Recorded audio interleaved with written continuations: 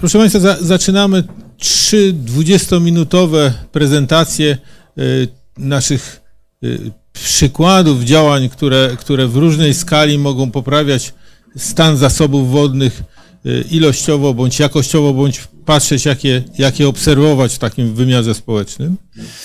I miło mi, że mogę przedstawić pierwszego prelegenta, pana doktora inżyniera Marka Ksepko, y, dyrektora Białostockiego Udziału y, Urządzania Lasu. Pan dyrektor, będę czasami mówił Marek, bo my się znamy od, od, od, od wielu lat, łączy taką, takie znakomite dwie rzeczy, ponieważ jest absolwentem Wydziału Leśnego SGGW, a doktorat robił z hydrologii i to właśnie z takiej siedliskowej hydrologii. I ja zdaję sobie sprawę, że, że biura urządzenia lasów no to często wiążemy lasy państwowe i to jest cała, cała że tak powiem, otoczka, ale y, mówimy o obszarach 30% Polski i mówimy także o działaniach siedliskowych, czy o działaniach y, proprzyrodniczych. I pan doktor jest znakomitym przykładem, jak w zespołach można owe siedliskowe znaczenie lasu wzmacniać, monitorować, y, czy, czy analizować w projektach, które dotyczą hydrologii, dotyczą awifauny. Tam wszędzie pan doktor i jego zespół byli obecni i cieszę się, że y, także w tym kontekście y, działania, które zmierzały do zwiększenia retencji w lasach, y, no, po pierwsze, że się działy, a po drugie, że możemy o nich opowiedzieć, o, o, o, o ich skutkach, ale także w pewnym wymiarze społecznym. Także dziękuję panie doktorze, że przyjął pan nasze zaproszenie i oddaję głos. Dziękuję bardzo, to zaszczyt dla mnie. Dziękuję za zaproszenie. E, faktycznie e, reprezentuję leśników, bo jestem leśnikiem z wykształcenia, choć również automatykiem i robotykiem, mam jakieś tam zacięcie techniczne, e, ale nie reprezentuję lasów państwowych w tym sensie dosłownym, gdyż nasza firma od ponad 30 lat jest w ręku tego samego ministra, ale jest firmą niezależną państwową. Ja jestem osobiście typologiem leśnym, czyli zajmuję się glebami, siedliskami, w tym hydrologią leśną. W związku z tym y, będę czasami używał prawdopodobnie pojęć może obcych państwu, ale y, i mogę też łamać pojęcia y, państwu dobrze znane. Chciałbym opowiedzieć o, o kilku rzeczach. Pan profesor Kruszko poprosił mnie, Tomek, poprosił mnie o to, żebym powiedział o tym, co robimy w lasach w ogóle. Faktycznie my jako urządzeniowcy, tak, takiego skrótu nazywamy, y, używamy do naszej branży, y, do określenia naszej branży, my urządzeniowcy odpowiadamy za wszystkie plany lasów państwowych, niemal wszystkie. Jest kilka firm prywatnych, które też to robią. W związku z tym musimy uwzględniać ten czynnik hydrologiczny, e, czynnik siedliskowy w e, planowaniu gospodarczym, ale również uczestniczymy w planach dotyczących e, hydrologii w ogóle, bo lasy państwowe od kilkudziesięciu lat już zajęły się tak zwaną, weźmy to w cudzysłów, retencją. Chciałbym o tym troszkę opowiedzieć w tym momencie. Dołożyliśmy do tego nieco, nieco swojego wkładu. Między innymi słyszeliście na pewno Państwo o tych dużych wodnych projektach lasów państwowych, e, które się dzieją od kilkunastu lat. Między innymi projekt e, pięcioletni zwiększania możliwości retencyjnych na terenach nizinnych. E, następnie kontynuacja tego projektu, która zakończyła się w ubiegłym roku, dotyczyły ponad połowy te obydwa projekty ponad połowy nadleśnictw w Polsce, których mamy niespełna 430. Czyli faktycznie e, Polska bez reszty dzieli się na obszary nadleśnictw, w związku z tym mogę śmiało powiedzieć, że projekty objęły połowę e, obszaru Polski. E, nie lubię, to też otwarcie już jako hydrolog czy typolog powiem, nie lubię używać tych miar ilościowych, jeśli chodzi o skutki projektów typu tysiące czy setki tysięcy obiektów, które powstają lub miliony metrów sześciennych zretencjonowanej wody, gdyż gdyż po pierwsze ta druga wartość jest najczęściej wielkością modelowaną i bardzo zależną od wielu innych czynników. Zresztą bardzo mi się podobało właśnie w wystąpieniu mojej szanownej przedmówczyni to podkreślenie roli monitoringu i w ogóle badań e, przepływu informacji, również wymiany informacji, bo, bo taką, taka jest nasza rola w leśnictwie, ale lubię e, posługiwać się e, powierzchnią jako, jako miarą, e, jako miarą, dlatego że no, Polska też bez reszty dzieli się na zlewnie, tak? W związku z tym każde nadleśnictwo bez reszty dzieli się również na zlewnie, mikrozlewnie i tak dalej. E, w ramach tych działań wykonano szereg różnych, mniej lub nawet bardziej kontrowersyjnych działań, bo to były, mm, powiem tak, Moją rolą między innymi kilkanaście lat temu była ocena oddziaływania na środowisko projektu e, tej pierwszej i drugiej retencji nizinnej i górskiej lasów państwowych. My w ramach oceny oddziaływania na środowisko wykluczyliśmy spośród kilkunastu tysięcy planowanych działań większość ze względu na to, że oceniliśmy, przewidzieliśmy potencjalnie negatywny wpływ tych działań na środowisko.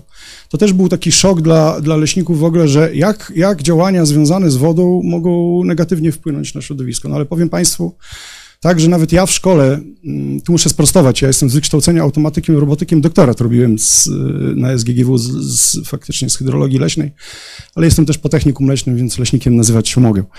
E, faktycznie było to szokujące, jak, e, jak działania, które dotyczą bezpośrednio wody, zatrzymania wody, zahamowania spływu, retencji krajobrazowej i tak dalej, korytowej, jak one mogą być negatywne? No mogą, gdyż w międzyczasie, na skutek zaburzeń antropopresji, w siedliskach, które uległy zniekształceniu na skutek dłuższemu lub krótszemu odwodnieniu, kształciły się po prostu cenne siedliska, które są dzisiaj chronione w ramach dyrektywy siedliskowej, między innymi Natura 2000 i tak dalej, i innych, innych przepisów, w tym światowych. W związku z tym nie zawsze na siłę podpiętrzanie wody czy, czy jej gromadzenie w jakimś miejscu faktycznie może dać korzystne wyniki. My, na, naszą rolą jest między innymi ocenianie prowadzenie takiego bilansu zysków i strat, czy, czy war, bardziej wartościowa jest dla nas ta woda w środowisku, e, czy, czy, czy ta bioróżnorodność, która wykształciła się już po ustąpieniu wody. No, mówiłem o powierzchni, o powierzchni i faktycznie jest tak, że, że te projekty dotyczyły, dotyczyły e, właściwie większej części Polski. Ja, ja, pozwolę sobie e, szybciej trochę przelecieć przez te pierwsze slajdy, bo chciałbym się skupić na, na temacie głównym, o którym będę za chwilę mówił. No znowu widzicie tu Państwo tysiące obiektów, 50 y, nadleśnictw, znowu miliony metrów sześciennych wody. Znowu duża część Polski, w, y, niezwykle ważna y, dla reżimu hydrologicznego Polski, czyli nadleśnictwa na terenach górskich. W związku z tym również problemy erozyjne i tak dalej, i tak dalej. I tu przejdę do tego, co jest bliższe mnie osobiście. Ja reprezentuję północno-wschodnią Polskę. E, nie ukrywam, że, że gdy pan profesor Kruszko powiedział, e, rzucił ten wątek e, wystąpienia przed państwem, chciałem mówić o tych dużych projektach, które są za nami, w trakcie i przed nami, ale stwierdziłem, że jestem winny to państwu, całemu społeczeństwu. Chcę mówić o Puszczy Białowieskiej ale nie o, o, problemach, o, znaczy o problemach tak, ale nie o konfliktowych tematach, tylko o tym, co możemy w ramach między innymi partycypacji społecznej, wspólnej pracy, porozumieniu zrobić dla, dla Puszczy, choćby w, w aspekcie tego, moim zdaniem, najważniejszego medium, czyli nośnika, jakim jest woda, nośnika energii biogenów w przyrodzie. E, między innymi Puszcza Białowieska była również w, e, objęta tymi programami, o których mówiłem wcześniej. Powiem Państwu, że, że e, sam osobiście wyrzuciłem, to znaczy za, zaopiniowałem negatywnie w ramach oceny oddziaływania, potencjalnej oceny oddziaływania na środowisko. Wyrzuciłem większość zbiorników wodnych, które były zaplanowane e, w Puszczy Białowieskiej, e, których rolą była retencja krajobrazowa, zbiornikowa. Mówię o małych zbiornikach, niewielkiej pojemności, do 1000 metrów sześciennych wody. Spotkałem się wtedy z niewielkim ostracyzmem ze strony leśników, gdyż e, wiem, co jest tego powodem, gdyż oni myśleli, że, że mm, no tak nas uczono kiedyś w szkole, e, że, że gromadzenie wody w zbiornikach jest, korzystne dla lesie, szczególnie w zbiornikach śródleśnych i tak dalej. No dzisiaj wiemy, nauka mówi, że, że jest trochę inaczej. Znaczy, e, z punktu widzenia leśnika i typologa dokonam pewnego skrótu myślowego, ale powiem tak, dużo ważniejszą jest retencja gruntowa ta retencja, która pozwala nam zatrzymać wodę w, w glebie, to znaczy w tym głównym akumulatorze wody w lesie, to, to jest kluczowe. To jest dzisiaj potwierdzone badaniami i, i, i chętnie o tym potem z Państwem podyskutuję. Między innymi udało nam się jako urządzeniowcom przekonać Dyrekcję Generalną Lasów Państwowych, nie trzeba było wcale dużego wysiłku, bo, bo leśnicy rozumieli doskonale tę potrzebę przekonać do tego, że należałoby wykonać taki plan strategiczny dla całej puszczy, polskiej części Puszczy Białowieskiej, a właściwie dla e, zlewni wszystkich, które są e, hydrologiczne powiązane z Puszczą Białowieską, plan e, ratunkowy już. W ciągu 30 lat mojej pracy straciliśmy około 33, 32-3% siedlisk hydrogenicznych w Puszczy Białowieskiej. To są siedliska, które przeszły metamorfozę, która jest bardzo trudno odwracalna. Mówimy tu już o metamorfozie gleb, o transformacji złóż torfowych i o decesjach złóż, zamiany w, w gleby y, semihydrogeniczne czy, czy pobagienne, gleby murszowe. Problemy, o których Państwo na pewno często słyszycie, mówiąc o, o dolinie rzeki Biebrza, czy Narew, czy innych rzek, dużych rzek polskich. W związku z tym e, Lasy Państwowe faktycznie e, zleciły wykonanie takiego opracowania. Ja, ja Państwu chcę w skrócie powiedzieć, e, do jakich wniosków doszliśmy i co prawdopodobnie, mam nadzieję, będzie przyświecało leśnikom, dzięki nam, mam nadzieję również, w najbliższej przyszłości, jeśli chodzi o działania w, w, w aspekcie ochrony wody i w ogóle zasobów wodnych.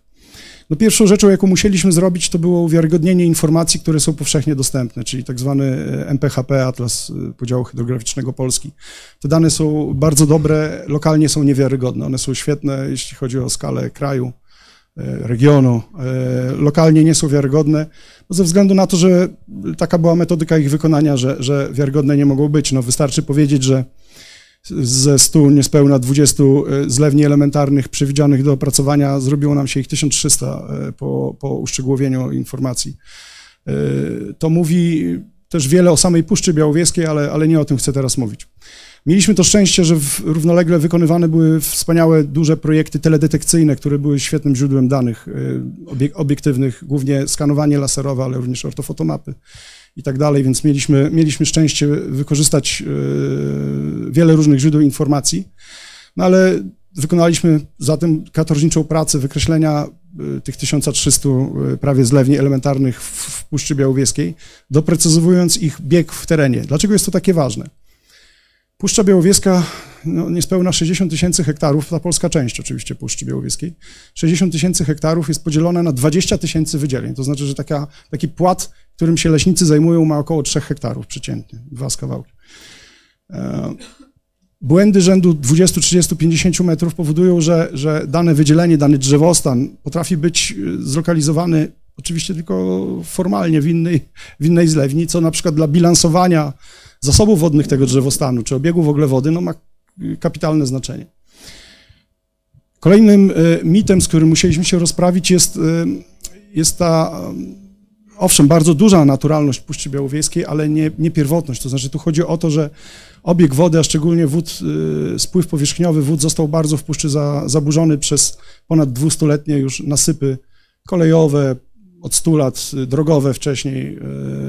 Ta sieć jest bardzo gęsta doprowadziła do zmiany między innymi te, ten ubytek 30% siedlisk powodowany jest właśnie, właśnie blokowaniem spływu powierzchniowego. To musieliśmy zrobić, no ale, ale też kapitalną rzeczą przy okazji tej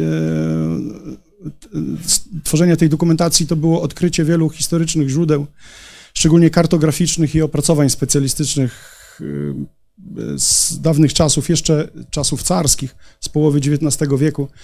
Dzięki, dzięki poszukiwaniom w ramach tego operatu znaleźliśmy pierwsze, najstarsze mapy urządzeniowe Puszczy Białowieskiej z y, połowy XIX wieku, które oficjalnie zaginęły, ale udało się znaleźć. No i, i, i dlaczego też tu jestem? Moi poprzednicy, szanowni, w latach y, jeszcze komunistycznych, w głębokim komunizmie wykonali dokument, na podstawie którego miały być wykonane tak zwane e, melioracje. Przepraszam za, za to uproszczenie, jestem świadom tego, co mówię, ale, ale e, tak zwany operat przedmelioracyjny e, wykonany, ekspertyza przedmelioracyjna wykonany w latach 60. Dla, w Puszczy Białowieskiej. No planowano wtedy i na szczęście nie zrealizowano tego pomysłu, planowano wtedy właściwie uproduktywnienie, czyli osuszenie wszystkich hydrotopów w Puszczy Białowieskiej. No, dzięki Bogu, że do, do tego nie doszło, a może raczej dzięki rozumowi. Trzeba pamiętać o tym, że Puszcza Białowieska jest tylko w części położona w Polsce. Duża część tej, tej puszczy jest po stronie białoruskiej. No wielkim problemem jest oczywiście dostęp do szczegółowych danych z tamtej strony, ale mamy tam przyjaciół, ludzi, którzy są również oddani przyrodzie, e, las, lasowi, pomagają nam, więc trochę informacji z tamtej strony uzyskaliśmy, w tym in, informacji hydrologicznych. No do tego szereg różnych opracowań, których sami jesteśmy autorami, fitosocjologiczne, siedliskowe, inwentaryzacje drzewostanowe i, i projekty naukowe, w których uczestniczyliśmy. Nie będę teraz tracił czasu na, na opowiadanie o tym. Chcę powiedzieć o konkluzjach. Te czerwone plamy to są właśnie siedliska, o których mówiłem. Czyli 70% siedlisk Puszczy Białowieskiej stanowią siedliska w jakiś sposób chronione dyrektywami, przepisami e, unijnymi i światowymi. O ich, o bogactwie Puszczy Białowieskiej decyduje właściwie krwiobieg, jakim jest cały system obiegu wody e, w Puszczy Białowieskiej. Większość tych siedlisk jest bezpośrednio z nimi oczywiście związana, bo, bo powstały w warunkach stałego lub okresowego uwilgotnienia. Bardzo szybko e, te niebieskie linie, które tu widzicie Państwo, to są dane, które mamy w MPHP właśnie w, e, zawarte, czyli w tych danych powszech, powszechnie dostępnych. Po inwentaryzacji terenowej okazało się, że ta sieć jest wielokrotnie gęstsza i to ona tak naprawdę decyduje, to znaczy jej zdolność do odwadniania, do odprowadzania wód, przyspieszania spływu, to ona decyduje o tym, że że te grupy te siedlisk najbardziej cennych po prostu uległy znacznemu przekształceniu. Oczywiście my jako ludzie dołożyliśmy do tego dużo. Czyszcząc, kopiąc rowy w latach 60., 70., czyszcząc rowy wzdłuż nasypów, o których mówiłem, prostując rzeki puszczańskie, w tym dwie, dwie główne rzeki Narewkę i, e, i Leśną Prawą i tak dalej, i tak dalej, intensyfikując gospodarkę leśną, bo to też jest istotne. Pani też wspomniała o roli gospodarki leśnej w ogóle, czy leśnictwa e, w zmianie e, reżimu hydrologicznego zlewni. No proszę, proszę spojrzeć, z przewidywanych kilkuset kilometrów cieków wyszło nam ich w tych, w tym obszarze zainteresowania, które opracowywaliśmy, ponad 4 tysiące. Ale w samej Puszczy Białowieskiej, e, tej polskiej części, jest ich e, niespełna 1700 kilometrów, przy czym większość stanowią cieki okresowe, czyli cieki, które prowadzą wody krótkoterminowo w okresie wyżówek lub w okresie wiosennym. E, nie, nie, już nieistniejących roztopów pozimowych, niestety. E, no, kolejnym dowodem na jednak duży stopień naturalności Puszczy Białowieskiej to jest e, rozkład przestrzenny udział urządzeń wodnych, które są związane z obiegiem wody.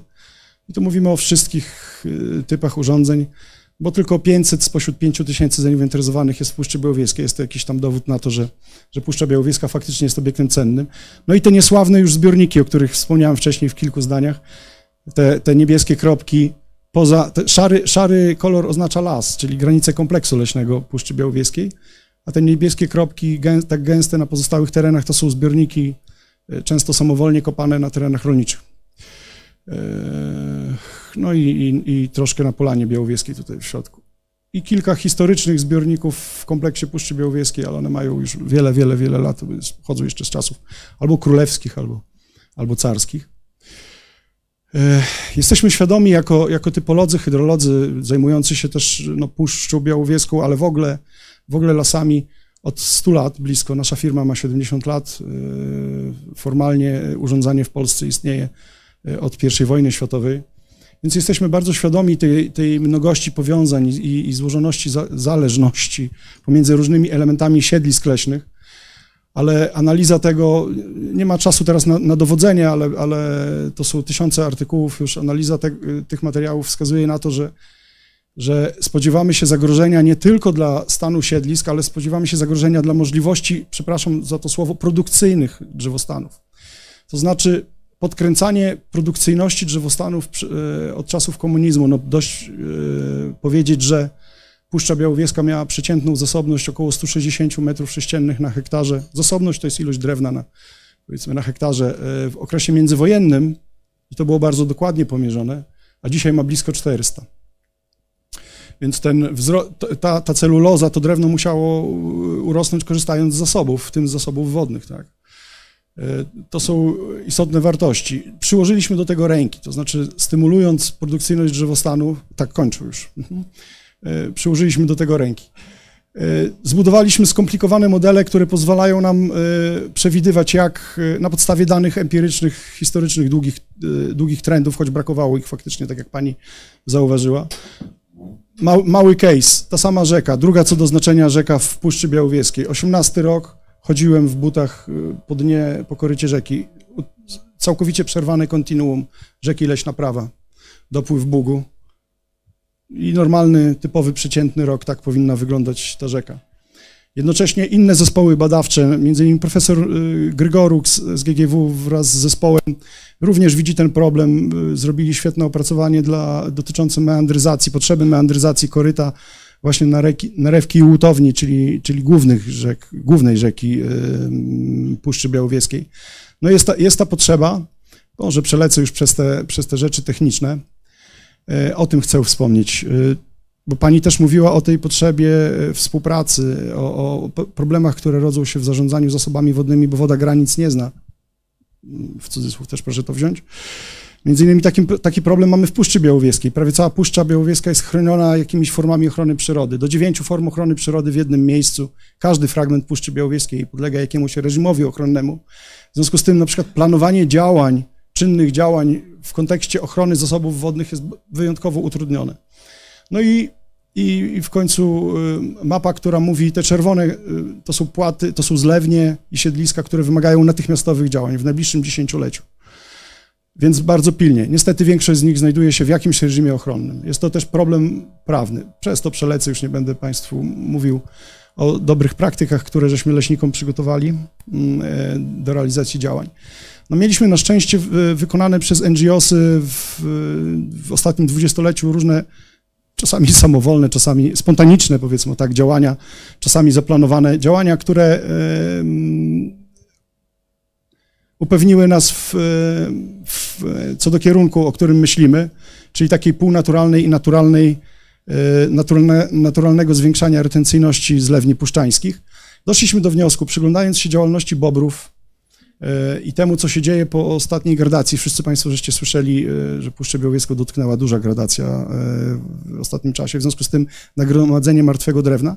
Zaproponowaliśmy obrazoburczy dla hydrotechników wątek, to znaczy zaproponowaliśmy, by wykorzystać e, materiał in situ dostępny na miejscu, w tym drewno, może nie będę go nazywał martwym drewnem, ale w tym drewno, które gdzieś tam już leży w korytach, do blokowania przepływów i hamowania przepływów w kilkunastu tysiącach miejsc w Puszczy Białowieskiej.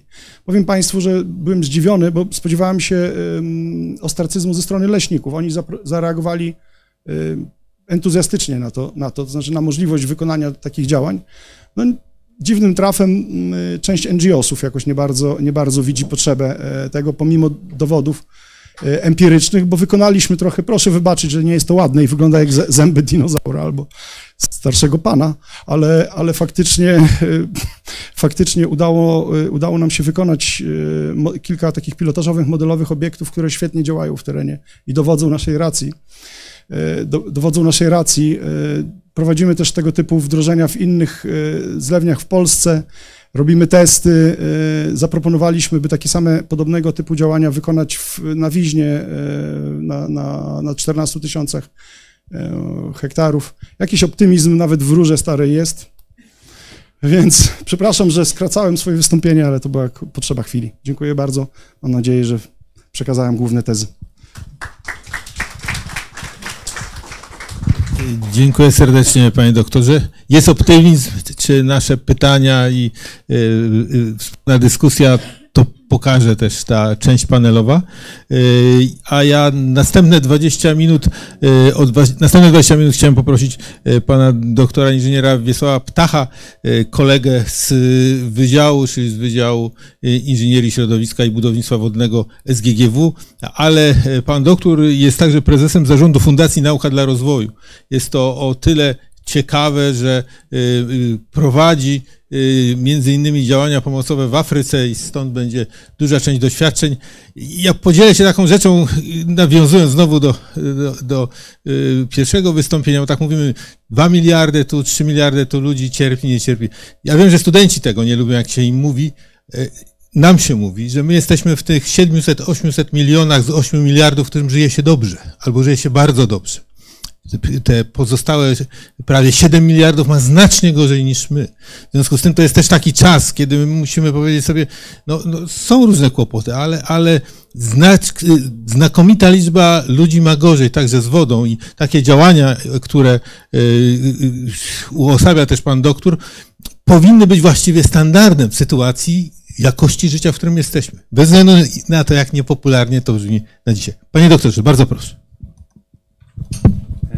Dzień dobry Państwu. Ja Bardzo chciałbym podziękować za zaproszenie na dzisiejszą konferencję, która umożliwi mi podzielenie się z Państwem swoją wiedzą i doświadczeniami w tym na pozór dosyć egzotycznie brzmiącym tytule prezentacji, jaką jest woda w pomocy humanitarnej i rozwojowej.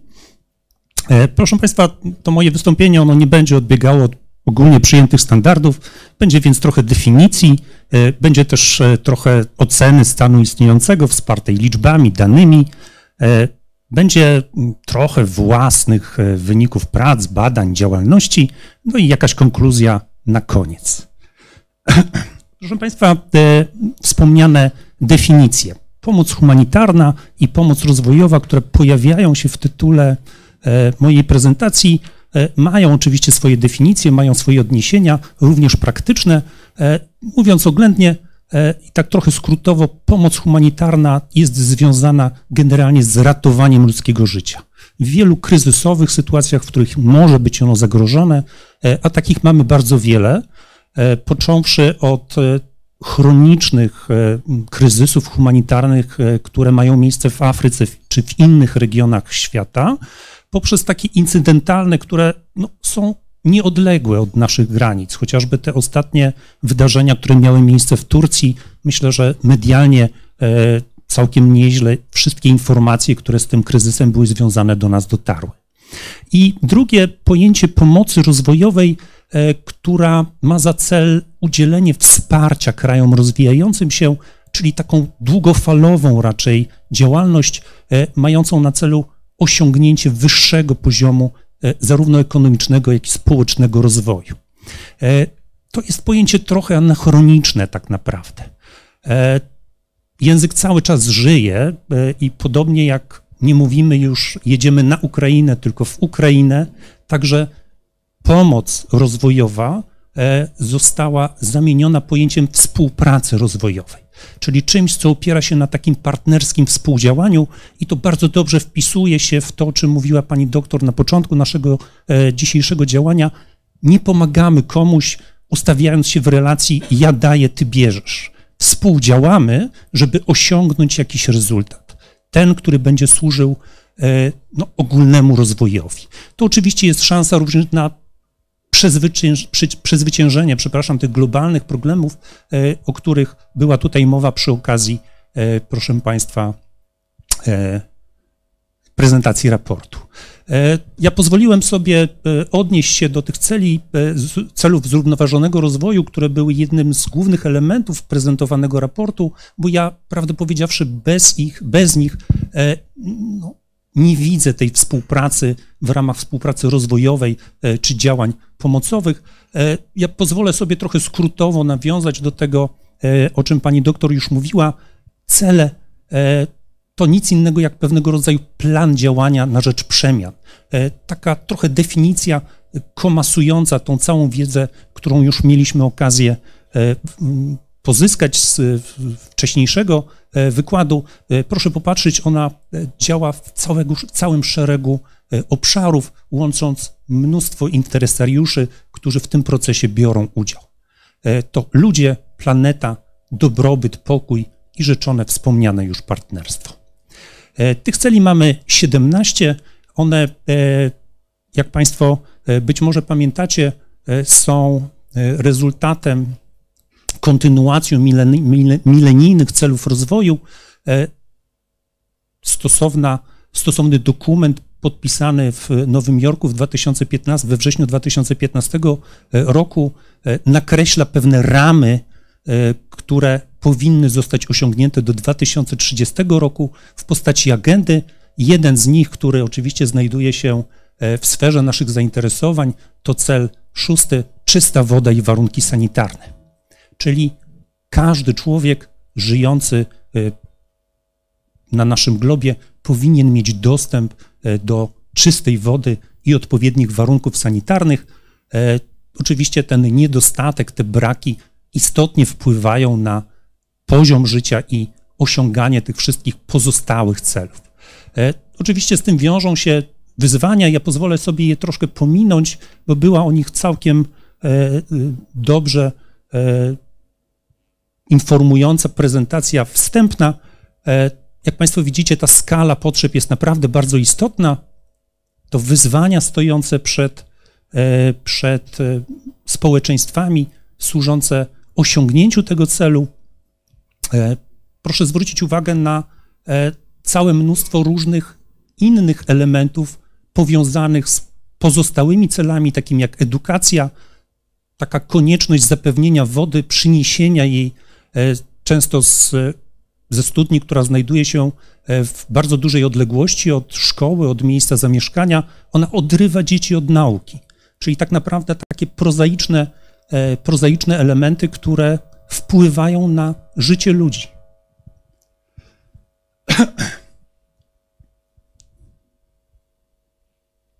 E, no i proszę Państwa, to, o czym wspominał pan profesor Okruszko, to nasze małe gospodarstwo, małe czy większe e, i zastanowienie się nad tym, co my w tym naszym gospodarstwie możemy zrobić na rzecz osiągnięcia tych założeń, tych celów, czyli miejsce nauki e, w pomocy rozwojowej, czy też mówiąc poprawniej, we współpracy rozwojowej e, i pomocy humanitarnej. Ja pozwolę sobie przybliżyć dwa takie praktyczne aspekty zrealizowane w postaci projektów, Jeden z nich powiązany z pomocą humanitarną, e, zorientowany, e, zrealizowany już e, wspólnie z jedną z dużych organizacji pozarządowych w Polsce i polegający na pewnego rodzaju ewaluacji, ocenie tego, co ta organizacja realizowała w ramach pomocy humanitarnej w Groznym, to działo się, proszę Państwa, po e, dwóch wojnach czeczeńskich, e, mających miejsce od 94 do 2005, e, do, przepraszam, 2000 roku, w wyniku których wystąpiły bardzo duże zniszczenia infrastruktury, w tym również zniszczenia dotyczące sieci kanalizacyjnej i wodociągowej. Jak Państwo widzicie, te zniszczenia były naprawdę bardzo, bardzo istotne i bardzo wpływały na poziom życia ponad 200 tysięcy mieszkańców stolicy Republiki Czeczenia, e, czyli e, Groznego. Tam głównym problemem tak naprawdę było to, iż woda docierająca do mieszkańców docierała do nich jako wtórnie zanieczyszczona. Poprzez zniszczenia sieci wodociągowej, perforacje do tej sieci wtórnie dostawały się związki ropopochodne.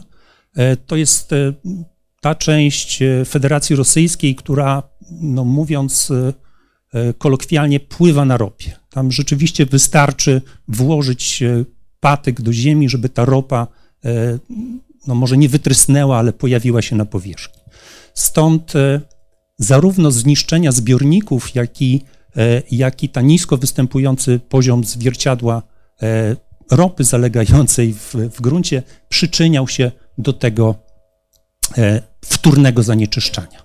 E, proszę Państwa, oczywiście wymagało to odpowiednich działań.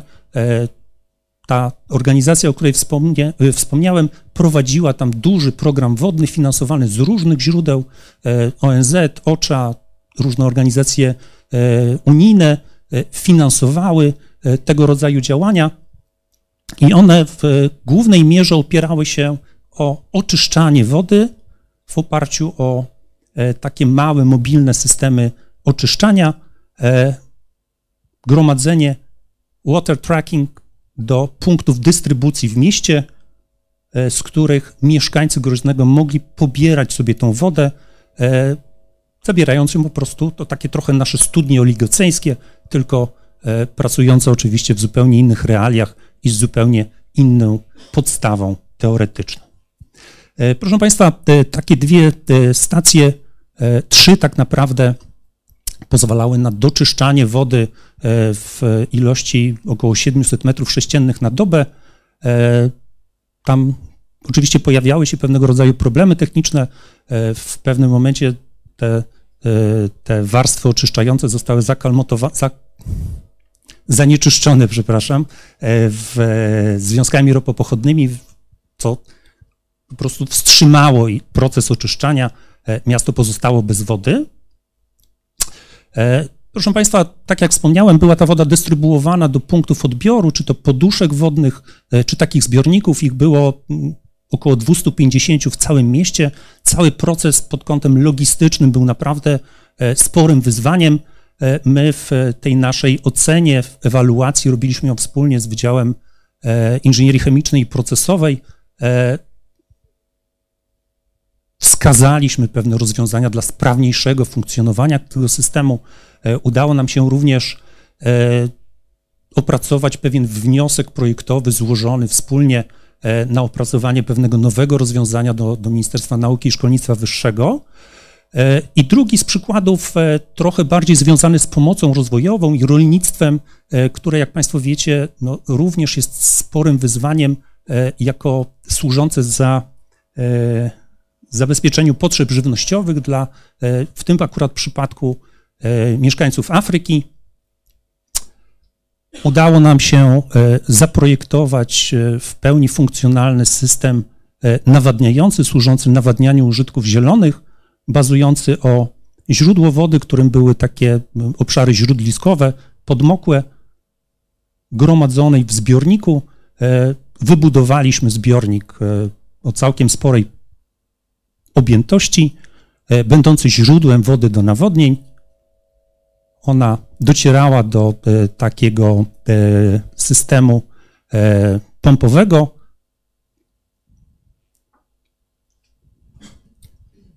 I kontrolnego, i zasilała systemy nawadniające w postaci urządzeń zraszających. Wszystko oczywiście było wsparte o monitoring warunków środowiskowych, tak żeby to sterowanie nawodnieniami odbywało się e, w sposób racjonalny. E, uzupełniliśmy w kolejnym roku e, tą inwestycję o duże szpulowe deszczownie, które nam pozwoliły nawodnić naprawdę całkiem spory obszar. To oczywiście wszystko miało swój wymiar ekonomiczny, przełożyło się na, jak Państwo widzicie, bardzo wyraźny wzrost plonów.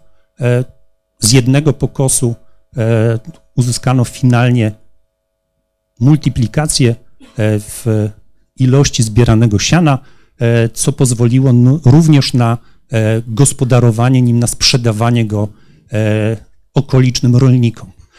Przyznam Państwu uczciwie, że tam w momencie kryzysów wynikających z braku wody zdarzało się, iż do tego ośrodka przyjeżdżali rolnicy z odległości 200-300 kilometrów, żeby kupować siano. E, w tym roku jeden z kolegów, który prowadzi projekt e, związany z e, mm, implementacją nowych technologii w mleczarstwie, wspomniał mi, że musiał zupełnie przeorientować ten projekt, ponieważ susza, która dotknęła farmerów, spowodowała to, że oni nie mają paszy dla krów, które, których mleko było z założenia być źródłem mleka dla produkcji tej e, spółdzielni mleczarskiej. Także to są naprawdę bardzo ze sobą silnie powiązane elementy. E, proszę Państwa, oczywiście edukacja to to, co jest równie ważne w e, tej naszej działalności. My również mamy pewnego rodzaju doświadczenia w kształceniu w zakresie gospodarowania wodą, no i doświadczenie eksperckie, które również procentuje Obecnie pamiętajmy, iż grono interesariuszy biorących udział w tym e, całym szeroko pojętym e, gospodarowaniu wodą, inwestycjami, pomocą rozwojową czy pomocą humanitarną, to również e, partnerzy z otoczenia gospodarczego, którzy mają zamiar również w tym procesie uczestniczyć i my ich w tym procesie staramy się wspierać. E, to tyle. Dziękuję Państwu za uwagę. Mam nadzieję, że po inżyniersku udało mi się jakoś ogarnąć ten czas. E, będę wdzięczny za ewentualne komentarze i z przyjemnością odpowiem e, na ewentualne pytania, ale wyprzedzając w pewien sposób, pozwolę sobie Państwa zapytać o jedną rzecz. Jak się Państwu wydaje, jakie są minimalne potrzeby człowieka, jeśli chodzi o wodę? Tak. 50 litrów. Czy są jakieś inne głosy? Tak, tak. Aha. Aha, Mo możemy jeszcze moją prezentację? Aha. Jest, e, proszę Państwa, taka organizacja e, Sphere, która e, trochę definiuje te pojęcia. Proszę popatrzeć, mamy trzy sfery. Przetrwanie, podstawowa higiena, przygotowanie posiłków i łącznie daje nam to od 7,5 do 15 litrów wody na osobę na dzień. To taka konkluzja. Dziękuję bardzo.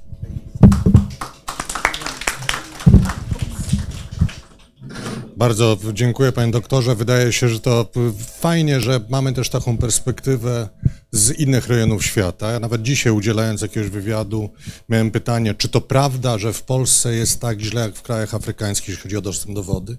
No i musimy znać swoje miejsce w szeregu. Znaczy mamy swoje bardzo potężne problemy, ale oczywiście one nie są porównywalne z tym, z czym muszą się mierzyć e, różne osoby, szczególnie w tej Afryce e, subsaharyjskiej.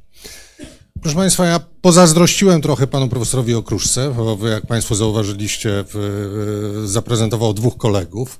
To ja też chcę tak ja zaprezentuję dwie koleżanki swoje. Kolejna prezentacja to będzie prezentacja, w których autorkami są pani profesor Monika Kalinowska i pani doktor e, Agata Goździk. E, pani profesor Kalinowska jest moim zastępcą, e, w, w, zastępcą kierownika Zakładu Hydrologii i Hydrodynamiki w tym instytucie. Jest wybitną specjalistką zajmującą się transportowaniem zanieczyszczeń e, w rzekach, a pani doktor Goździk tak jest. A pani doktor Goździk prowadzi cały szereg projektów edukacyjnych, w tym takich, które dotyczą E, wody, a to co je łączy, to że były moimi pierwszymi dwoma doktorantkami, także e, Monika, teraz ty byłaś pierwsza, to prawda. Monika, bardzo proszę.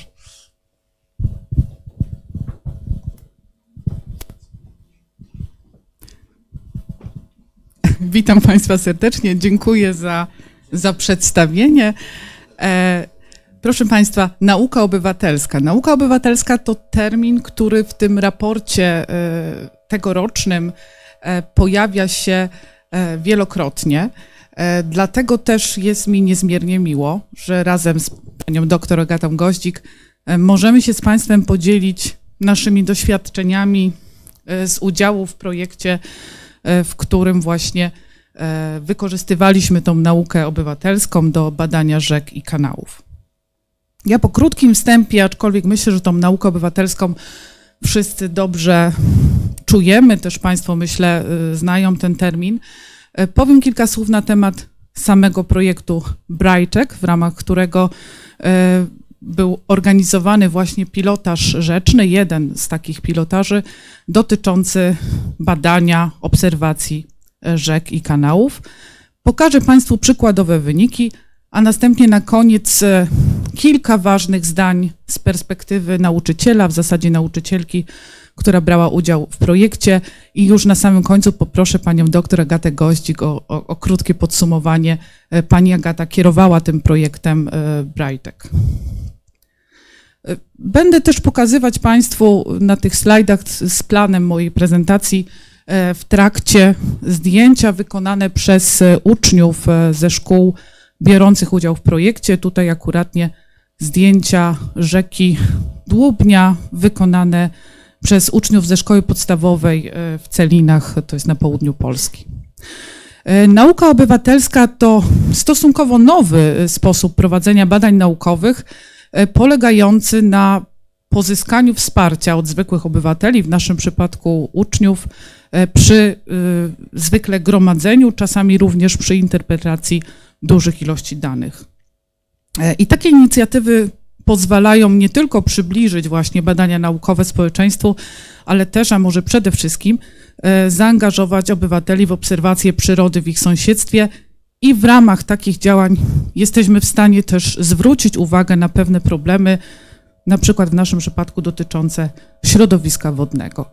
Jeśli chodzi o naukę obywatelską w szkołach, to zaangażowanie uczniów w tego typu działania zwiększa ich e, rozumienie tego, co dzieje się dookoła w ich bliskim sąsiedztwie, w przyrodzie, e, poprawia ich wyniki w nauce. To oczywiście są według różnych doniesień i badań e, informacje, pozwala zobaczyć oczywiście na czym polega też praca naukowca.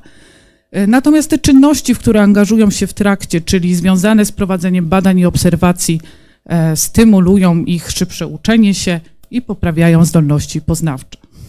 To tyle teorii na temat nauki obywatelskiej.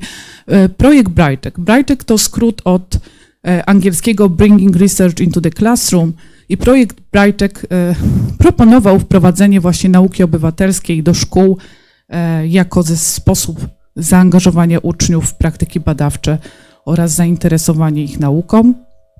Projekt był koordynowany przez nasz instytut, natomiast w projekcie brało udział sześciu partnerów z czterech różnych krajów, z Polski, Belgii, Grecji, Hiszpanii. W ramach projektu nauczyciele, uczniowie, naukowcy, wszyscy współpracowaliśmy. E, opracowane zostały i przeprowadzone szereg e, pilotażowych inicjatyw nauki obywatelskiej. Ta, o której mówię, to tylko jedna z nich. W, wynik, w wyniku realizacji tego projektu to nie tylko te zebrane przez nas w trakcie tych pilotażowych akcji dane, ale również szereg raportów, różnych wskazówek, zarówno dla nauczycieli, jak i dla naukowców, e, różnego rodzaju narzędzia, z których można skorzystać i ja wszystkich, którzy ewentualnie są zainteresowani, e, aby tego typu działania wcielać w życie, czy to jako naukowcy, czy jako nauczyciele, E, zapraszam do zapoznania się z materiałami, które są zgromadzone na stronie projektu. E, jeśli Państwo wpiszą w przeglądarkę Brightek, na pewno łatwo znajdą Państwo właściwą stronę internetową. E, większość materiałów jest w języku angielskim, ale część można znaleźć również w języku polskim. Przechodząc do tej głównej części, czyli do części dotyczącej mm, badania rzek z wykorzystaniem nauki obywatelskiej. Właśnie jednym z tych badań pilotażowych w ramach projektu Brightek e, była e, obserwacja sezonowych zmian roślinności rzecznej i nadbrzeżnej oraz w przypadku niektórych szkół również mikroklimatu dolin rzecznych. Dlaczego roślinność? Myślę, że Państwo doskonale zdają sobie sprawę, można to też zobaczyć na tych pięknych, pięknych zdjęciach rzeki Narew, że ta roślinność jest e, w korytach, rzekach powszechnie obecna. E, I ta obecność roślinności w korytach e, rzecznych, w kanałach, znacząco wpływa na wszystkie procesy, które zachodzą w samym korycie, ale również na, tym, na wszelkie procesy, które są, znajdują się, dzieją się dookoła tego koryta rzecznego, czyli wpływa zarówno na przepływ, transport substancji rozpuszczonych, którymi mogą być różnego rodzaju zanieczyszczenia, ale również na mikroklimat, na ukształtowanie koryta, na jakość wody, czy też finalnie na rolnictwo, e, urbanizację, czy też inne aspekty naszego życia. Wiemy, jak woda jest e, ważna e, w naszym życiu. Dla mnie z punktu widzenia mojej pracy naukowej istotny jest ten wpływ na przepływ i transport substancji rozpuszczonych i opis tych procesów, które zachodzą w tym korycie złożony jest sam w sobie, natomiast kiedy mamy e, do czynienia jeszcze z roślinnością, wszystko dużo bardziej się komplikuje. E, natomiast opis ten jest istotny, jeśli chcemy próbować tworzyć modele, czy finalnie e, modele komputerowe, które mogą nam potem się przyjrzeć na przykład do symulacji rozprzestrzeniania się zanieczyszczeń. Tutaj widzą Państwo przykład takiego modelu z chwilowym zrzutem zanieczyszczeń. Jest to akuratnie przykład ze zrzutem, e, z, jeśli ktoś jest z okolic Krakowa lub kto z Krakowa nas ogląda, to pewnie wie, gdzie to jest. Jest to e, zrzut z rzeki Rudawy do Wisły. To taki taka sytuacja może się wydarzyć w wyniku jakiejś awarii. Natomiast, żeby tego typu modele tworzyć, czy nawet tylko te gotowe modele używać, potrzebujemy informacji na temat wielu parametrów, współczynników, E, które musimy e, określić, e, aby być w stanie taki model skutecznie uruchomić i uzyskać rozsądne wyniki. I tak jak już powiedziałam, w przypadku kanałów bez roślinności jest to wystarczająco trudne, natomiast w przypadku z kanałów z roślinnością jeszcze bardziej skomplikowane. My posiłkujemy się często E, eksperymentami znacznikowymi. Dzieciom tutaj zawsze pokazuję, że mówię, że kolorujemy rzekę zrzucamy do rzeki barwnik, obserwujemy w jaki sposób on jest transportowany w dół rzeki. I tutaj Państwo widzą przykład takiego eksperymentu znacznikowego z użyciem rodaminy WT, tego czerwonego barwnika czy też różowego, w zależności. E, on bardziej jest różowy niż czerwony. Tutaj na filmie bardziej wygląda na czerwono. E, jest to eksperyment znacznikowy, który przeprowadziliśmy w 2019 roku w kanale warszawickim z udziałem właśnie jednej ze szkół biorącej udział w projekcie. E, ten eksperyment przeprowadziliśmy w dwóch takich skrajnych wariantach, kiedy kanał był porośnięty roślinnością i kiedy tej roślinności nie było. Jeśli ktoś jest bardziej zainteresowany, to ja odsyłam do naszego najnowszego artykułu, który się ukazał e, właśnie opisując te wyniki tych naszych eksperymentów. E, natomiast w kontekście naszych działań istotne jest również to, co jest pomiędzy, to znaczy tymi skrajnymi dwoma sytuacjami. I oczywiście, żeby to wszystko zrozumieć, czy też chociażby zdecydować, kiedy i gdzie przeprowadzić wspomniane eksperymenty znacznikowe, wymagane są liczne obserwacje i pomiary. I tutaj właśnie nauka obywatelska może przyjść nam z pomocą, po prostu mogą y, pomoc uczniów, pomoc obywateli może nam y, nas wesprzeć i za, pomóc zaoszczędzić y, czas. Przede wszystkim przeprowadzić tego typu obserwacje na dużo większą skalę. Na czym polegały te obserwacje? W dużej mierze polegały na prowadzeniu monitoringu, a w zasadzie głównie fotomonitoringu, e, czyli po prostu robieniu zdjęć w określonym, wyznaczonym wcześniej ustalonym czasie. I taki e, monitoring, e, jako że każdy z nas w zasadzie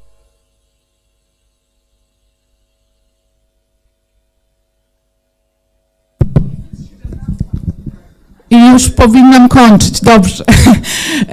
E, każdy z Państwa byłby w stanie zrobić taki fotomonitoring. Każdy ma teraz e, telefon, kamerę e, czy, czy aparat fotograficzny. Wszyscy możemy w łatwy, niedrogi sposób robić właśnie monitoring. Takie monitoringi są robione nie tylko w kontekście tutaj dotyczących badania, jak roślinność zmienia się w trakcie sezonu wegetacyjnego, ale również możemy monitorować e, kształt e, zmiany koryta, możemy monitorować jakość wody czy siedliska e, nadrzeczne. I tutaj przy zastosowaniu odpowiedniej techniki, odpowiedniej dokumentacji, takie zdjęcia, które są wykonywane przez różne osoby i z użyciem różnego sprzętu, mogą, jak Państwo zobaczą później, e, ciągle pozostawać wspólnie. Część szkół jeszcze robiła dodatkowe badania, proste pomiary hydrologiczne, meteorologiczne. Zależało to od, od wieku uczniów i od możliwości szkoły. E, w, w tym naszym projekcie e, brało udział 9 szkół, obserwowały dzieci 10 rzek w 11 lokalizacjach. Były to zarówno małe cieki, jak i duże rzeki. Oczywiście, żeby to wszystko mogło się udać, musieliśmy to wszystko poprzedzić serią e, przygotowań, warsztatów e, czy wizyt studyjnych w szkołach. Tutaj Państwo widzą e, taką wizytę studyjną w jednej, znaczy zdjęcia z jednej z wizyt studyjnych w szkołach. W trakcie przekazywaliśmy wszystkie niezbędne informacje, e, które e, mogły się przydać czy nauczycielom, czy też e, uczniom. Na przykład tutaj jest w jaki sposób później te dane były do nas przesyłane. Ale już teraz przechodząc do tych przykładowych wyników, tutaj właśnie z tego, strasznie trzeszczy ten mikrofon, z kanału warszawickiego wykonany e, tutaj będzie fotomonitoring przez szkołę podstawową w Warszawicach. Widzą Państwo też mapkę, prosta mapka wykonywana, mówię o tej górnej mapce, jest wykonana przez dzieci ze szkoły podstawowej. E, dostawaliśmy też e, w formularzach współrzędne GPS tych punktów, w których e, dzieci prowadziły obserwacje. To, co Państwo teraz zobaczą, to są obserwacje prowadzone z tego punktu. Dzieci prowadziły też w drugim punkcie obserwacje i widzą Państwo ładnie, jak ta roślinność się zmienia w trakcie całego okresu wegetacyjnego, aż do momentu, kiedy kanał został oczyszczony E, z roślinności. E, to oczywiście to są tylko wybrane zdjęcia. Tutaj też e, seria wybranych zdjęć z tego fotomonitoringu. Jedno, co chciałabym podkreślić, zanim jeszcze kilka słów z perspektywy nauczyciela i zanim poproszę Panią Agatę jeszcze też o podsumowanie, to to, że zważywszy na okres, w jakim to było prowadzone, jak Państwo zauważą, to jest przełom 2019, początek 2020 roku, wszystkie szkoły zostały zamknięte. Natomiast część szkół, część dzieci była na tyle zaangażowana ten nasz projekt, że nadal prowadziły przynajmniej ten fotomonitoring, bo pomiary były utrudnione, bo nie miały dostępu do sprzętu, który został w szkole. Natomiast tutaj no, przerosło to nasze oczekiwania, tak naprawdę. I teraz kilka słów z perspektywy właśnie nauczycielki. To jest pani doktor Joanna Robka, nauczycielka w szkole podstawowej w Celinach. Skills. In my opinion, there are many benefits of citizen science applied for school practice. First of all, the biggest advantage is showing students that the science can be for them. Research requires plan and methods, which doesn't have to be too difficult for students. A success depends on hard work defined rather by work discipline than by high math. They could learn the research method in practice. They figured out how to collect data properly, how to present them. Students could make their own methods of measurements, for example, river depth or velocity field, would improve their creativity. Moreover, Pupils could see the science doesn't have to be made in a big laboratory somewhere in the world, but also close to them even in small village. It can raise students' self-esteem because they see that their small river can be important from scientific point of view for somebody. It improves the responsibility for our neighborhood. Finally, the citizen science approach is a fresh wind in school routine. Students can see school as a place where modern things can happen. The research applied in school shows students the way of looking for more than facts in school's books. How to collect my work? I've got PhD in physics, but I Dobrze, proszę Państwa, zostałam poproszona o kilka słów podsumowania, ponieważ zaczynaliśmy prezentacją raportu, to chcemy też zamknąć klamrą raportową. I stąd fragment z raportu pojawia się, bardzo nas cieszy to, że ta nauka obywatelska w tym raporcie wybrzmiała 39 razy. Taką informację znalazła dla mnie Monika, natomiast tutaj już jest taki fragment bezpośrednio związany. W trzech rozdziałach tego raportu nauka obywatelska się pojawia. Ja chciałabym troszeczkę powiedzieć o, o tym ostatnim punkcie, czyli o tych wyzwaniach bo faktycznie musimy zdawać sobie sprawę z tego, że w zależności od tego, z jaką grupą współpracujemy, to różne wyzwania mogą się pojawiać. Na pewno jakość danych jest zawsze rzeczą, którą musimy zweryfikować. Kwestia utraty motywacji czy utraty możliwości wykonywania pomiarów, tak jak było w naszym przypadku, to akurat było związane z pandemią. Także wiele jest takich czynników, które są no, bardzo już mocno związane z tym, jakiego rodzaju badania są wykonywane przez uczestników takich pilotaży. Natomiast myślę, że jakby to, co nas bardzo cieszyło, to faktycznie zaangażowanie. Mieliśmy grupę nauczycieli, którzy się fantastycznie w tym projekcie odnaleźli. Robiliśmy jeszcze drugi pilotaż związany z pomiarami promieniowania UV i zachowaniem na świeżym powietrzu. Z tego drugiego pilotażu powstał też artykuł naukowy, w związku z tym jest to taka korzyść obopólna.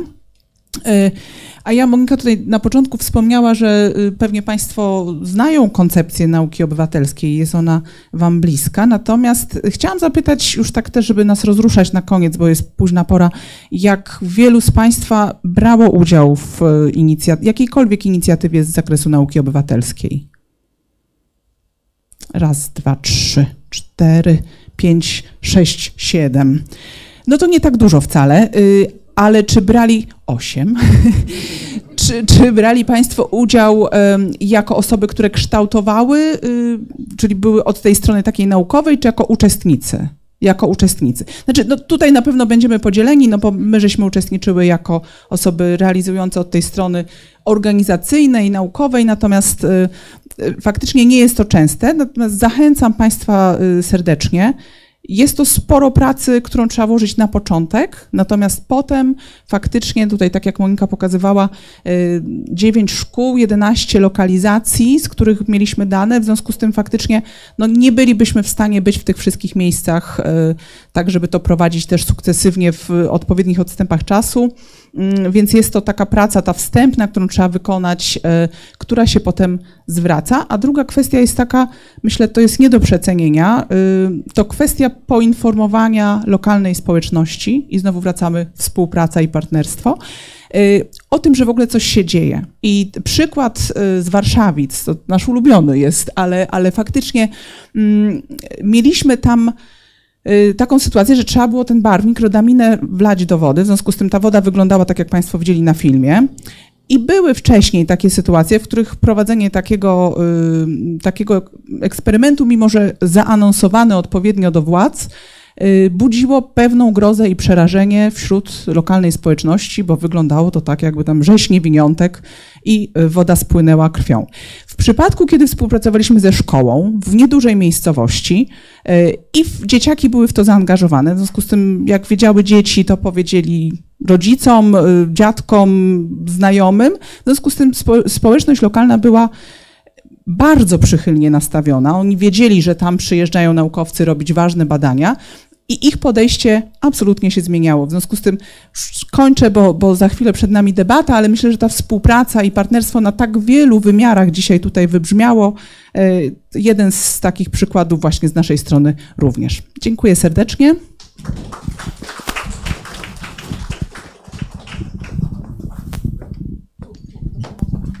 Dziękuję bardzo za bardzo ciekawe przedstawienie e, nauki obywatelskiej. Zresztą, jak Państwo widzicie, te referaty były tak dobrane, żebyśmy pokazali fragmenty, które mogłyby się składać na ten raport, który był przedstawiany na początku. Czyli chcieliśmy pokazać, że małymi rzeczami możemy coś zrobić i gdzieś jakieś sprawy posunąć.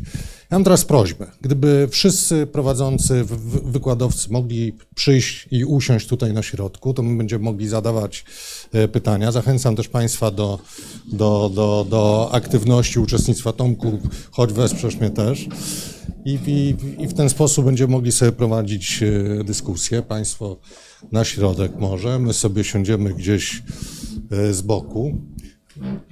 Także zachęcam Państwa do zadawania pytań. Y, jeśli będą jakieś pytania od internautów na, na czacie, to my spróbujemy również y, odczytać. Nie wiem, czy ktoś z Państwa od razu jest gotowy do zadania pytania. Bardzo proszę. I, i, i będziemy musieli chyba. Ja, ja Panu podam mikrofon, bo będzie. Dobry wieczór Państwu. Rafał Milaszewski, Wydział Biologii i Nauk o Środowisku UKSW. Ja bym chciał e, podzielić się pewną informacją z panem doktorem Markiem Ksepko związaną z jego referatem. E, mianowicie pan wygłosił referat na temat potencjalnych korzyści z synergii małych działań w ramach retencji leśnej Polski. E, w Instytucie Badawczym Lecznictwa w Sękocinie profesorowie Tyszko i Tyszka i Pierzgalski prowadzili monitoring hydrologicznych funkcji lasu. Panu chyba ta sprawa jest znana. W tej chwili sytuacja wygląda tak, że ten system monitoringu funkcjonuje, ale w bardzo ograniczonym zakresie. I oni zwrócili się do Państwowej Rady Gospodarki Wodnej, której ja jestem członkiem, z prośbą o poparcie w sprawie ich wniosku o finansowanie tego systemu. E, Państwowa Rada Gospodarki Wodnej udzieliła takiego poparcia, zajmując odpowiednie stanowisko. Ono zostało przekazane do Ministerstwa Klimatu i Środowiska, jak również do Generalnej Dyrekcji Lasów Państwowych. No to jest na pewno bardzo ważna sprawa, szczególnie dla Generalnej Dyrekcji Lasów Państwowych, bo przecież dane, które uzyskiwane są z funkcjonowania monitoringu hydraulicznych funkcji lasu mogą być użyte jako instrument w zarządzaniu zasobami leśnymi przez Generalną Dyrekcję Lasów Państwowych. Także być może również nasze gremium udzieliłoby też takiego poparcia temu wnioskowi, żeby wzmocnić go i może osiągniemy tutaj jakiś sukces w tej sprawie. Jak na razie no, wszyscy o tym wiedzą, ale tego finansowania, które umożliwiłoby rozszerzony zakres monitoringu hydrologicznej funkcji lasu, aktualnie nie ma. Dziękuję bardzo. Dziękuję bardzo. Czy, czy pan oczekuje, rozumiem, jakiegoś komentarza do tego, prawda? Tak, panie doktorze. Ad, ad, ad vocem, ale dosłownie. Y, tydzień temu z profesorem Pierzgalskim rozmawialiśmy o tym. Y, z doktorem czy docentem Janem Szyszko, y, Tyszko, przepraszam, dobrze się znamy. Przejęzyczenie ciekawe. Jest to problem dość głęboki, dlatego że Instytut Badawczy Leśnictwa ma, ma od lat sieć piezometrów i, i, stacji meteo, które są w tak zwanym systemie ochrony przeciwpożarowej, czyli w monitoringu zagrożenia przeciwpożarowego lasów państwowych. I faktycznie profesor Pierzgalski, dopóki był jeszcze czynnym e, naukowcem e, i pracował w Instytucie Badawczym Leśnictwa, e, od lat prosił o to, żeby ten, tą sieć wzbogacić, bo ona jest po pierwsze niereprezentatywna, nie wiem, czy pan profesor o tym mówił, ale ona jest niereprezentatywna szczególnie dla Pogórza i gór, czyli tych kluczowych, powiedzmy dzisiaj z punktu widzenia hydrologicznego obszarów. I faktycznie z tego co wiem, nie mówię w imieniu lasów państwowych, ale, ale opieram to tylko o swoją subiektywną wiedzę. Z tego co wiem, jest przychylność dla, dla tej ich koncepcji i obecne, obecni decydenci w Generalnej Dyrekcji Lasów Państwowych myślą o tym, w jaki sposób sfinansować ten pomysł. Także nie jest źle. Mhm. Bardzo dziękuję. Jest pytanie na końcu. Pan Goździk. Ale czy mnie słychać? Marek Goździk, e, kiedyś Centrum Koordynacji Projektów Środowiskowych, teraz e, KZGW. E, ja troszeczkę postaram się odpowiedzieć na Pana pytanie, ponieważ przy tych projektach retencyjnych, o których Pan doktor wspomniał, był przewidziany monitoring klimaty, klimatyczno-hydrologiczny, natomiast został on zaniechany. Niestety szkoda, bo były na to przeznaczone unijne pieniądze. Natomiast on się niestety nie zrealizował. Trzymam kciuki za, za jak gdyby za te kolejne. I tak jeszcze, jak gdyby może tak dodając do tych projektów retencyjnych, które lasy prowadziły od 2008 roku. E, tam rzeczywiście e, no, mieliśmy do czynienia z, z koncepcją przygotowaną przez Biuro Urządzenia Lasu i SGGW, przynajmniej dla projektu retencyjnego retencji górskiej. E, przyznam się, że, że my żeśmy go schowali i zrobili swój. Nie wszystko nam się tam podobało. Te projekty, te pierwsze, które żeśmy realizowali od 2007-2008 roku, robiliśmy również w oparciu o wiedzę i doświadczenia e, no nie tylko naukowców, e, nie tylko ze SGGW, nie tylko z Biura Rządzenia Lasów, mm, ale również z NGO-sami. I to, ta współpraca nam się bardzo, mm, bardzo udawała. E, ja sobie pamiętam, że z 500 wytypowanych zbiorników na terenach górskich przeprowadziliśmy inwentaryzację, taką również przyrodniczą i hydrologiczną i chyba finalnie zrealizowaliśmy około 400, a może nawet niecałych, niecałych 400. E, z, te, z, tej koncepcji pierwszej, którą została nam przedstawiona do Centrum Koordynacji, e, zostało się może 1% projektów, bo jednak stwierdziliśmy, że stawiamy bardziej na środowisko. Te liczby tam oczywiście się zgadzam, że one jak gdyby nie pokazują. To były projekty realizowane, do tej pory są realizowane, bo de facto te, ta druga, druga edycja się w tej chwili kończy. E, natomiast to są projekty, chciałbym Państwu uświadomić, myślę, że nie tylko największe w Polsce, nie tylko w Europie, ale nie słyszałem o, o większych projektach realizowanych na świecie. E, na terenach górskich, e, oprócz zbiorników, nie, stosunkowo niedużych i stosunkowo niedużej pojemności, ze względów na warunki, jakie tam panują, przebudowaliśmy prawie 700 przepustów, przewracając drożność ścieków. Zrealizowaliśmy parę kompleksowych projektów rozbiórki budowli i urządzeń hydrotechnicznych, o tym się jak gdyby troszeczkę mało mówi, natomiast jest to rzecz y, no niebywała, mówię, nie tylko na skalę Polski, ale myślę, że y, europejską. Jedna rzecz, o czym też myślę warto wspomnieć, ja już po tych latach spędzonych przy tych projektach retencyjnych, szczególnie górskich, też mi się wydaje, że zresztą dyrekcja też chyba generalna o tym wie, że to już te zbiorniki to czasami chwilami są już troszeczkę pase. Ale myślę, że warto wspomnieć, że w tej chwili jest w lasach przy współpracy między innymi Biura Urządzenia Lasu trwa ogromny projekt SNAP e, dofinansowany z LIFE-u. Dopiero startuje. E, Startuje, tak, startuje, ale mam nadzieję, że, że wyjdzie. E, Wiem, że Dyrekcja Generalna stawia na, e, bardzo na ten, e, na ten projekt.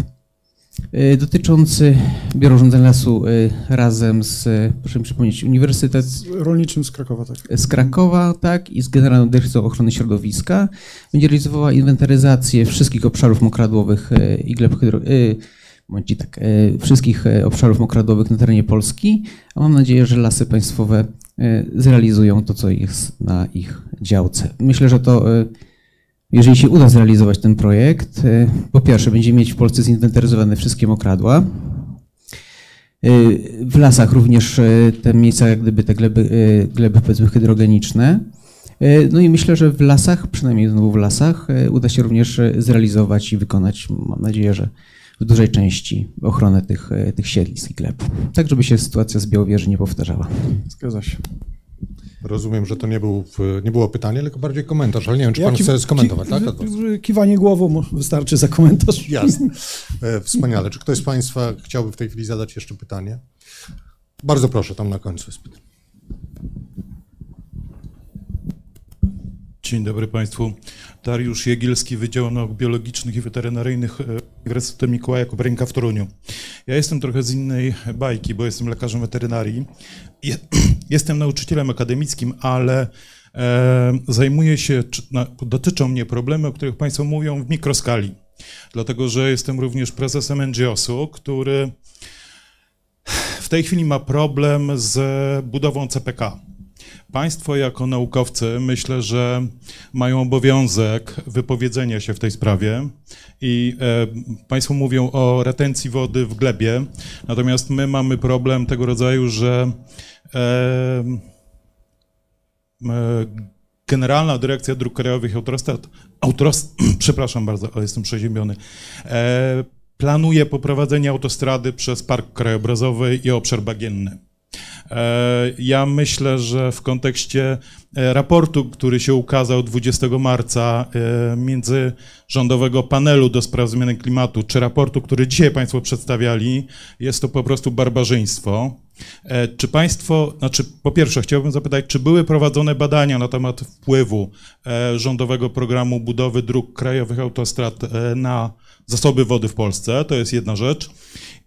Druga rzecz, czy, czy Państwo mogą w jakiś sposób zabrać, y, czy mm, przedstawić swoje stanowisko wobec tego, bo ja myślę, że y, chociażby Mazowsze będzie pustynią za chwilę, kiedy te plany zostaną zrealizowane. Ja wiem, że to może nie jest e, dokładnie w ramach Państwa zainteresowań, natomiast myślę, że to jest Państwa rola społeczna. Ja również pracuję na, na uczelni, zajmuję się zupełnie inną dziedziną, natomiast e, no, e, uniwersytet jest e, czymś takim, bądź też Instytut Badawczy jest te, taką strukturą, która powinna głośno wypowiadać swoje stanowisko. Bardzo dziękuję. Rozumiem, że pytanie jest do naszych prelegentów, więc jestem w tej dobrej sytuacji, że nie ja muszę odpowiadać. Kto z Państwa e, zechciałby e, się ustosunkować? Strasznie szerokie zagadnienie. Y, Prosiłbym tylko pana o. o ja, ja też mam kłopot często z formułowaniem zbyt ostrych, ostro swoich przemyśleń. Słowo pustynia, step. Y, Trzeba bardzo uważać, y, bo, bo to też powoduje, że dyskusja przestaje być merytoryczna w pewnym momencie, emocje nam rosną niepotrzebnie. Miałem, czy uczestniczyłem w ponad tysiącu ocen oddziaływania na środowisko różnych inwestycji. E, Wiele z moich drastycznych przewidywań się nie zrealizowało dzięki Bogu, czy dzięki przyrodzie. E, Więc wiem, że trzeba być bardzo ostrożnym we wnioskowaniu. Rozumiem, że, że e, jak, jaki NGOs pan reprezentuje? W... Aha, czyli zajmujecie się też działaniami ochronnymi e, w stosunku do ptaków? Domyślam się z nazwy. Nie.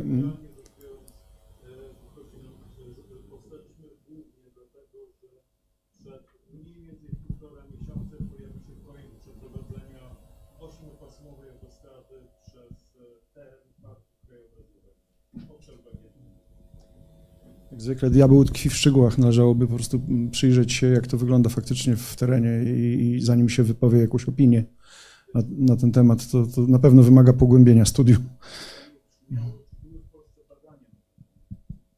Na temat szkodliwości przebiegu, czy oddziaływania? Mhm. Oczywiście jest cały szereg takich badań. Cały szereg. Ja byłem w zespole, który wykonywał takie badanie dla słynnej S8 w Dolinie Rozpudy, ten niesławny już dzisiaj problem e, i kilku innych dróg. Byłem tam jako ekspert leśnik i, i gleboznawca, ale, ale mam jakąś wiedzę na ten temat i wiem, że zbyt wiele czynników ma wpływ na to, jaki będzie faktyczne oddziaływanie tego typu inwestycji, żeby, żebyśmy w ramach tego seminarium mogli to rozstrzygnąć. Należałoby to pogłębić. To ja może tylko powiem, że y, rozmawialiśmy przy okazji y, raportu UNESCO o transparentności informacji i danych i wydaje mi się, że y, ocena wpływu na środowisko akurat przebiegu tras powinna być gdzieś dostępna i być może punktem wyjścia byłoby sprawdzenie, czy mamy do niej w ogóle dostęp i czy jak, jak ona wygląda. Mm, odniesienie się do, do danych byłoby tutaj e, bardzo wskazane i dosyć trudno jest się ustosunkować e, od razu do zagadnienia. Aczkolwiek, e, aczkolwiek wiadomo, że środowisko naukowe zazwyczaj staje w obronie przyrody w tych sytuacjach, w których już mamy dane i informacje, że należy to zrobić. Znaczy, ja, rozumiem, że pytanie było w takiej formule, że należy takie sytuacje badać, znaczy przy tak olbrzymim przedsięwzięciu e, warto, żeby były prowadzone badania naukowe w sposób transparentny i twardy. To jest w myśl tego, tego raportu, o którym dzisiaj mówimy, więc niewątpliwie to jest, to jest coś, przed czym powinniśmy stać i sposób działania i współdziałania e, powinien być w naszym kraju taki. Zresztą ja ja myślę, ja też zadam Państwu prowokacyjne pytanie bo, yy, i trudne, bo jak już mówimy o współpracy AWA, to, to jest właściwie dzisiaj o tym dyskusja. To czy Państwo macie jakieś remedium? Bo Polska jest przykładem, w, w, skali lokalnej to my potrafimy pokazać mnóstwo znakomitej współpracy, dzisiaj o tym było, była mowa, ale mamy też takie spektakularne przykłady. Odra, czy, czy, czy to, co się stało z, z kolektorem na Wiśle, to był przykład jednej wielkiej wojny, a nie współpracy. I, i czy, czy, czy Państwo na takie sytuacje awaryjne macie swoje jakieś przemyślenia? Jak to powinno wyglądać? Jak powinniśmy działać? Jak, jak, y, no jak spełnić warunki raportu, czyli tej współpracy i partnerstwa, a nie, a nie obijania się nawzajem na ogół politycznie niestety? Nie wiem, do kogo jest pytanie. Kto z Państwa się odważy? Jeśli mogę się znowu pierwszy odezwać, ale e, przepraszam Panie Profesorze, że przypomniało mi się jeden istotny wątek, może Pana choć trochę to uspokoi, bo w ramach e, projektu, który Biuro Urządzania Lasu ma realizować, o którym wspomniał mój szanowny też tutaj przedmówca z Krajowego Zarządu, znaczy z wód, przepraszam, polskich. E, Biuro Urządzania Lasu ma wykonać między innymi portal, który będzie udostępniał na potrzeby ocen oddziaływania na środowisko szczegółowe informacje dotyczące, dotyczące mokradeł i, torfowisk. E, smutniejsza część mojej konstatacji to taka, że zanim to nastąpi, to być może już wybudują panu tą drogę.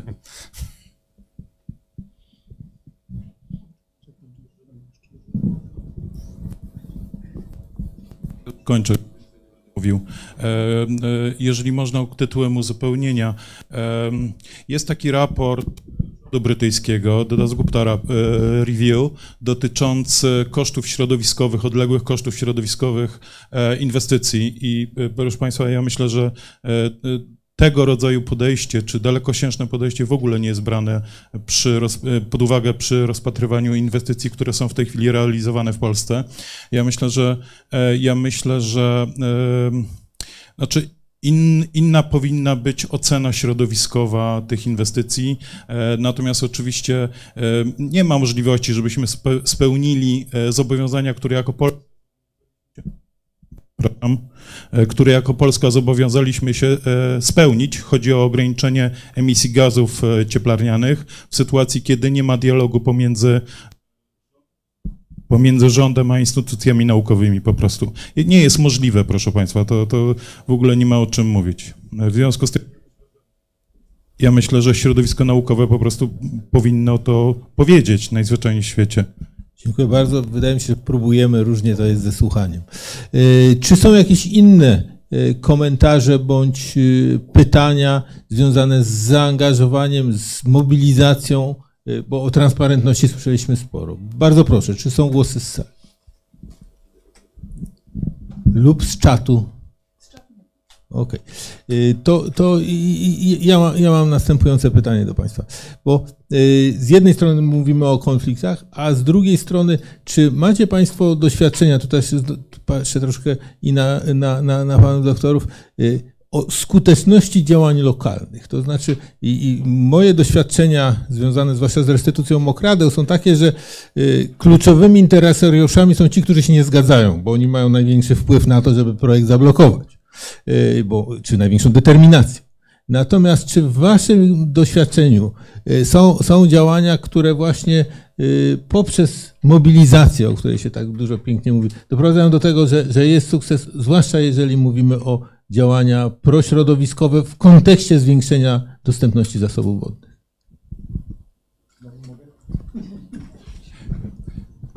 gaduła mi się łączył. Teraz powiem zupełnie subiektywnie i prywatnie. E, tak, ja, ja, mam taki przykład, on właściwie ciągle trwa i żyje, dzięki, znowu dzięki Bogu czy przyrodzie.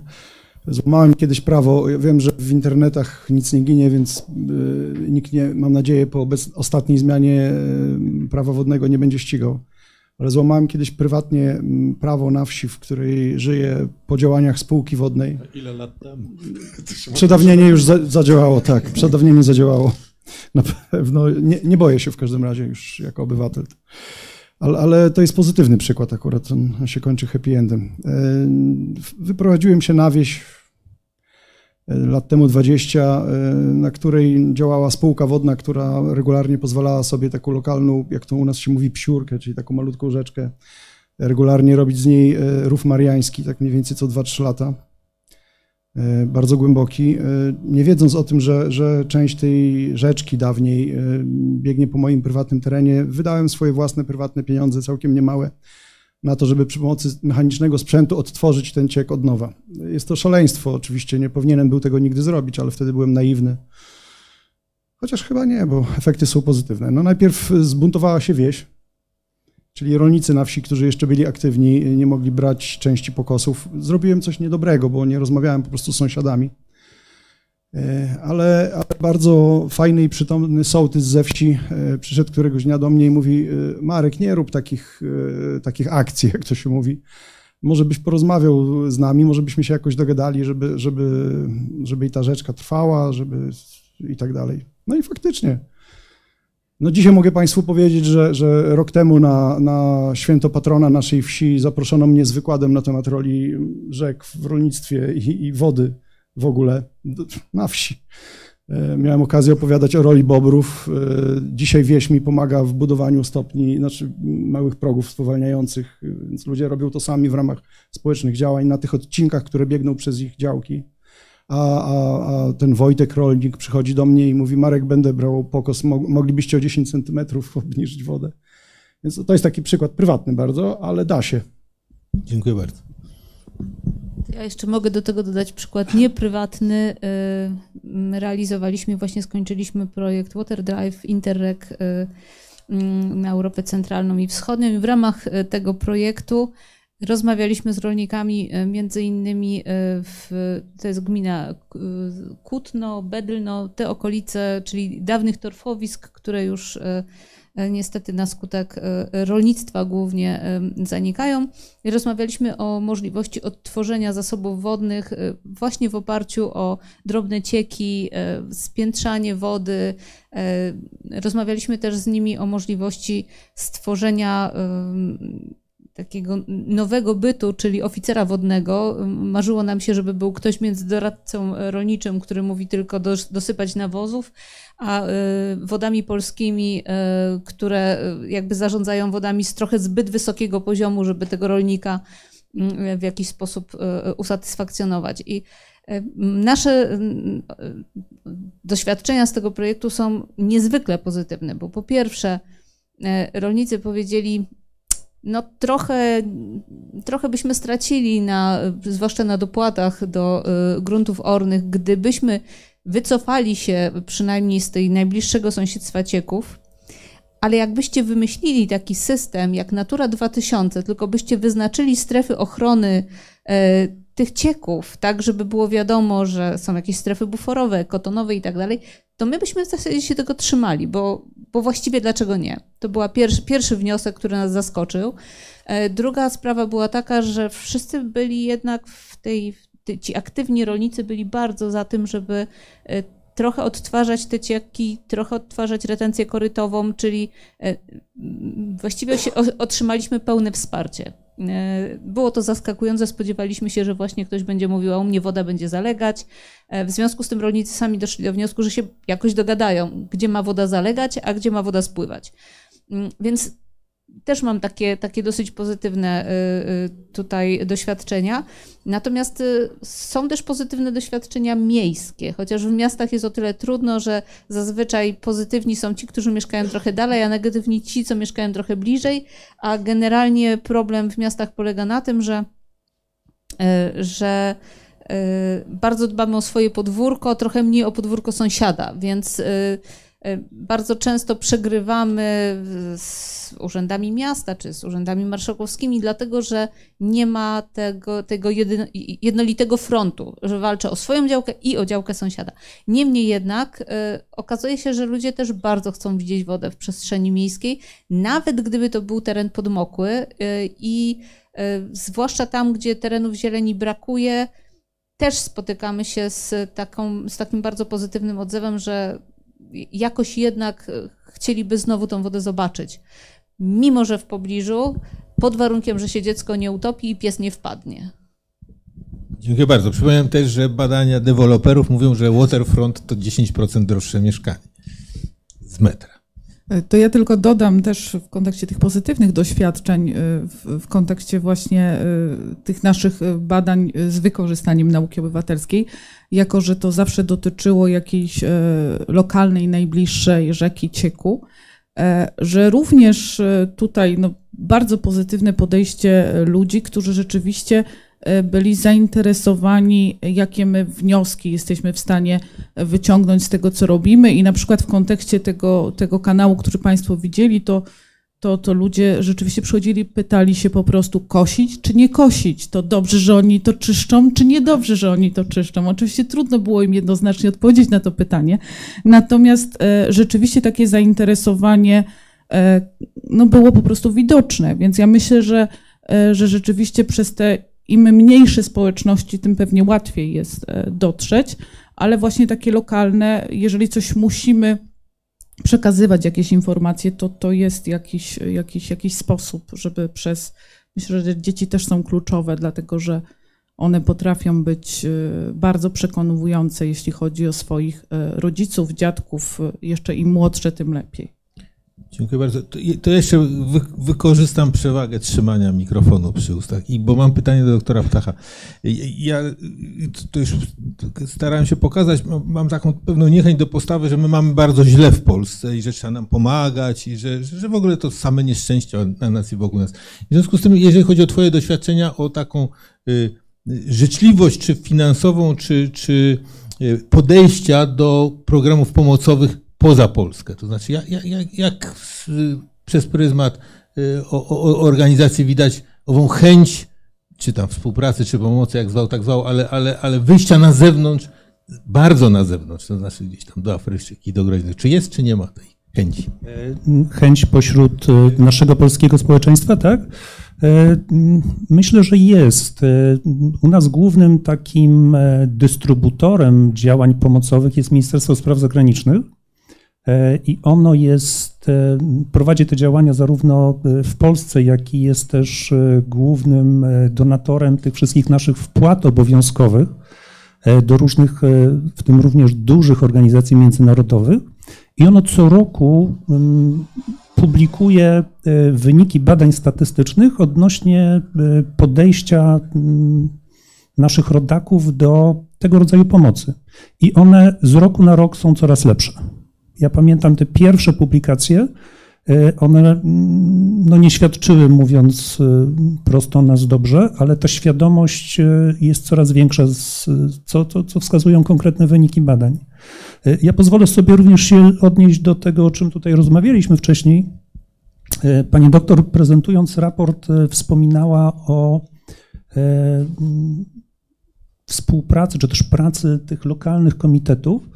E, Ja powiem Państwu szczerze, ja mm, znam od strony praktycznej takie właśnie lokalne wodne komitety i jak one pracują, gospodarując e, tymi zasobami wody, które mają, głównie wody do picia. Myśmy przygotowywali kiedyś taki wniosek projektowy w jednym z krajów e, afrykańskich. I dobrze współpracowaliśmy, wówczas poznaliśmy strukturę funkcjonowania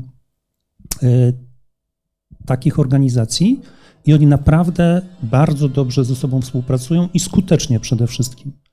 E, Ale jeszcze e, a propos tej, e, tej skuteczności, która w tych egzotycznych czasami regionach świata przybiera no, zupełnie inną postać i zupełnie inne rezultaty. No, odbywa się w zupełnie innych warunkach. Ja pamiętam, realizując ten projekt nawodnieniowy, Państwo być może pamiętacie mapę, którą pokazałem, tam granica tego, tego obszaru użytków e, łąkowych e, to niewielka rzeka, taka powiedzmy po zwierciadle wody około dwóch metrów, ale w głębokim, e, to koryto było bardzo głębokie, częściowo też takie e, skaliste. E, I no myśmy się tam zapuszczali od czasu do czasu. To nie, nie ta rzeka była głównym źródłem wody, e, ale pewnego dnia widzę, że tam na granicy tego pola jest jakiś ruch. Podjechała koparka, jest dużo ludzi, przeszliśmy się tam. E, Okazało się, no, po raz pierwszy byłem takim bezpośrednim świadkiem czegoś, co, co, co dobrze jest nam znane, konflikty o wodę, jak to tak ładnie brzmi w, w tych medialnych przekazach.